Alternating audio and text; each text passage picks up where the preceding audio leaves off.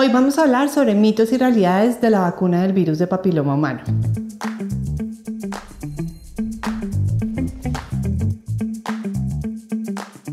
Verdadero.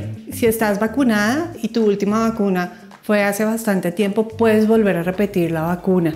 En este momento hay una nueva vacuna que tiene nueve cepas nuevas de cubrimiento para el virus de papiloma humano. Entonces sí lo puedes hacer.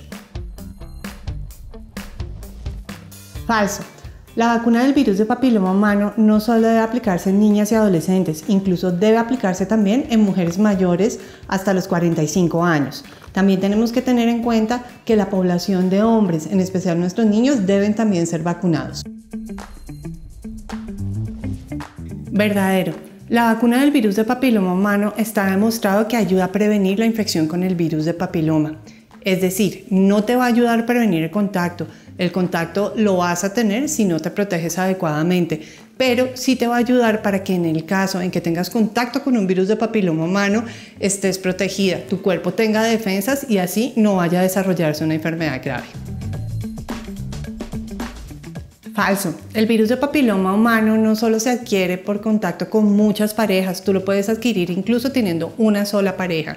Lo que es importante es que seas consciente de eso y te protejas constantemente.